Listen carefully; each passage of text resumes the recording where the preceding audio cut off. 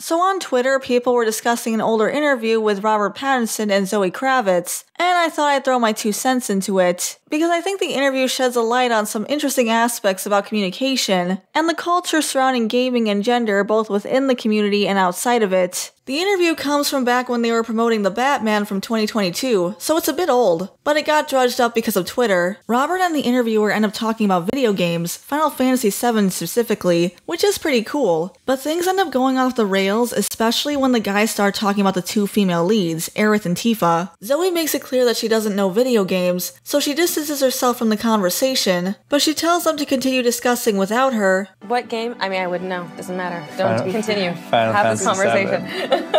The interviewer gets defensive because he feels like she's being dismissive, since she isn't personally interested in video games, so he accuses her of judging them. You don't know Yeah. Final Fantasy? No. It's the best. You It think we was. think with that child who will never grow up, that's it? You're judging us. I'm not. I'm not. I'm are. just. I'm standing back and allowing you two to have. I'm. And she probably was to an extent, but in a silent, I'm going to let you guys talk, but I'm going to be over here rolling my eyes kind of way, instead of making fun of them for their interests. And I do think he's being pretty combative here, and it's only exasperating the situation instead of trying to calm things down. Before I continue on with the interview, I want to talk a little bit about video games. Video games are an interesting form of media because you can interact with them. The player has a direct effect on what happens in the game, whereas most other media is passive. You watch movies and listen to music, and that's mostly the extent of it. Because of this interactivity, it's not uncommon for gamers to have many, many hours invested into their games and become very attached to them. The thing is, society as a whole basically sees entertainment as largely a waste of time, and that time could be better invested in doing something productive. And any criticism that other forms of media get is often tenfold for video games, and it's largely due to that time sink. For example, most albums are usually 40 minutes to an hour long, and movies are usually an hour and a half to two hours, maybe three, so those might not be seen as so bad. But doing things like binging seasons of a TV show on a streaming service, or spending many hours a day playing a video game, will often get people accused of being a couch potato, who could be doing something more important. It's like the mainstream doesn't really see video games as a hobby, and more instead just mindless entertainment. Which is unfair, but that's just kind of the fact of the matter. But on top of the mainstream generally seeing video games as a waste of time, they also tend to write off video games as a whole as not real art. For example, back in 2005, a movie adaptation of the video game Doom came out. Many people were critical of the film, including the acclaimed movie critic Roger Ebert. However, a major point he had against the film was that it was based on a video game, because in his opinion, video games are not art and never can be. This, of course, caused a huge backlash from gamers, who are very passionate about their hobby, and flooded him with messages about how unfair they thought he was being, which he was, and he eventually addressed all this in 2010, where he said that he doesn't actually retract his statements or regret making them, but that it was too much trouble because of all the drama it caused, and some opinions are better kept to yourself. He also said he has no interest in playing video games. There are people who just don't care for interactive media and would rather consume media in a passive way, which is totally fine. But there are also people who enjoy that interactive element, which is also good. But at the end of the day, we didn't really get anywhere, other than everyone just being annoyed with each other. And now it seems like a lot of video games are trying to be interactive movies, and it's great to put a lot of effort into the story, but it kind of feels like it's at the expense of the other aspects of gaming, like gameplay, to the point where maybe they should just make movies. Maybe it's partly because studios want video games to be seen as more legitimate, as an art form the way music and movies are seen, but in my opinion, it's probably not worth it and they should just focus on making fun games. Anyway, I bring all this up because going into this interview, there's a lot of nuance here, where both sides have their own preconceived notions and biases, but because of how badly they communicated, not only were no bridges built, everyone walked away with their biases being confirmed, which is unfortunate because both sides were not on the same page, and they got two very different things out of the conversation. So in this interview, we have Robert and the interviewer, who both enjoy video games to the point where they admit to crying during them, and Zoe, who seems more in line with the mainstream opinion, and is surprised to hear that they would be so moved by a video game. Thing in common, we cry on video games. Wait, what? We cry when we play video games. You do? Just Yeah. one.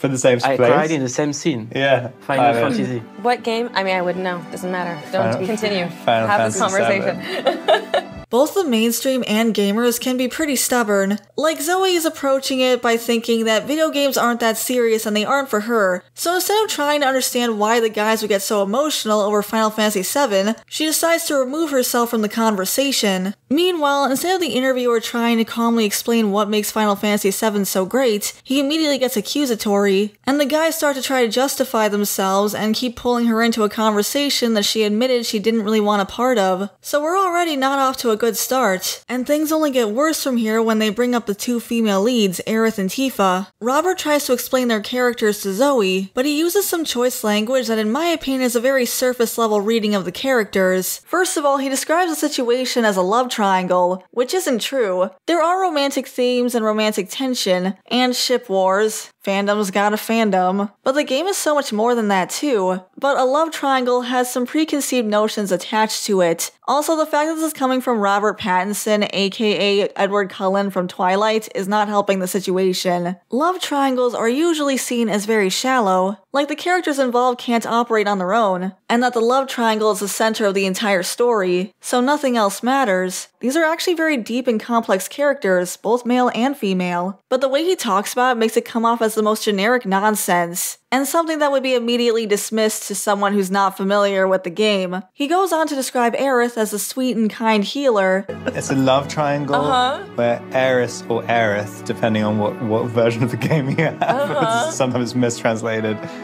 Like she's like the really kind girl who has this, that has superpower. It's like to like heal everyone and like Which is accurate, sure, but also only one aspect of her character. But before I get into the character analysis, Zoe already has a problem with this. she's like the really kind girl who has this, that has superpower. It's like to like heal everyone and like make the world a better place. Poor and then, women, we have to heal everyone. And then Tifa's like this like sex Since she doesn't have any context for Final Fantasy VII and is going off assumptions based off of the love triangle description and mainstream opinions about video games in general, what she heard and what he was trying to convey were totally different things. He means that during battle she can restore health. Also, she's a descendant of the Ancient Ones and has a special connection to the planet, but I won't get too much into the lore. She can fight too, but he didn't mention that. The thing is, the mainstream is unaware of video game classes. You know, the tank, the knight, the healer, the rogue, things like that. But without the context, Zoe is probably thinking she's in a literal caretaker role, and that she probably has to take care of everyone else's problems, while also neglecting her own needs. A lot of angst from both men and women comes from feeling unappreciated, and that can be the case with caretakers, having to put others' needs above your own, and clean up other people's messes. And you can't really take a day off, otherwise things could go wrong or you'd be seen as a failure, both selfish and lazy. And that's a lot of pressure, and usually it's women seen in these roles. That's why she said poor women always having to be the healer so exhausting. Meanwhile, the guys have no idea what she's on about. They're talking about how much they love this video game. While Zoe is not only not on the same page, she's basically reading a different book. So while healer is a totally normal class in video games, she's associated with a stereotype. And bringing this up isn't actually adding anything to the conversation. And that's not what happens with Aerith's character. Meanwhile, Zoe is also playing into stereotypes. Again, unintentionally, but her dismissive attitude towards Aerith being a healer comes off like she's saying Aerith shouldn't be bothered to have to save the world, and only focus on her own wants and needs, which comes off as extremely selfish when we know that the world itself is at stake. So now both sides are basically jumping to the worst possible conclusions. That being said, Robert did a pretty poor job at describing the situation, and the only reason why he's talking about Aerith this way is because he's comparing her to Tifa, and in my opinion, they're both misrepresented. His description of Tifa is not very flattering. I'm sure he thinks it's flattering, but it comes off as very shallow. He says that she's a sex girl who wears a short skirt and is a thief. And then Tifa's like this like sexy little thing who's like a thief and stuff. She wears a short skirt, and you're like, I can't decide.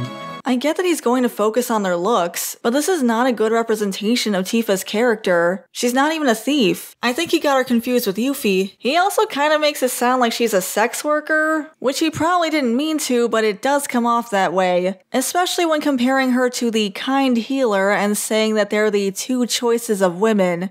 It's the two sides. It's the it's the two options of girls you can have. But I'll get into that. Tifa and Aerith are great characters and are very layered, and describing them this way is limiting. Sure, Aerith looks cutesy, but she's actually pretty assertive and a tough cookie, though you might not get that based solely on her design. Tifa, on the other hand, may look like a sex girl in a short skirt, although that's a very shallow statement and is only based on her design, but she's actually very caring, empathetic, and sweet and she can be pretty reserved. Specifically saying that Aerith is kind and Tifa is sexy also makes Tifa come off as like she's not kind, maybe even a mean girl. And I really wish he'd given a better description of her. And Aerith, he's not being fair to her either. But not only are both girls great fighters, but they're also really good friends, and they're really not in competition at all. And I'm just not really sure where Robert was coming from. But he did end up playing into a lot of general stereotypes that the mainstream has about video games. Video game characters, regardless of their gender, are often seen as shallow. Video games are just there for wish fulfillment. Male characters that stumble into being the hero, female characters are only there to be hot and occasionally help out sometimes, but mostly be hot. And the hardest part about video games is which one of these two hot girls do I choose? Robert tries to explain why Aerith's death was so impactful, but instead of actually explaining why it's impactful, he just said that it was sad because they never got to date. And then, and then